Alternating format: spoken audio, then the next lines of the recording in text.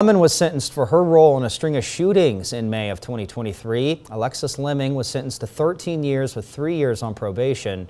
She pleaded guilty to charges including attempted aggravated battery, possession of cocaine, and contributing to the delinquency of a minor. As we've reported, a string of Lafayette houses were shot at in May of 2023. Traffic stop on May 19th led to the arrest of Eliel Sanchez, Alexis Leming, and a 15-year-old boy. Officers found several shell casings, ammunition, and cocaine in the vehicle. Leming admitted she was in the car when the four shootings took place.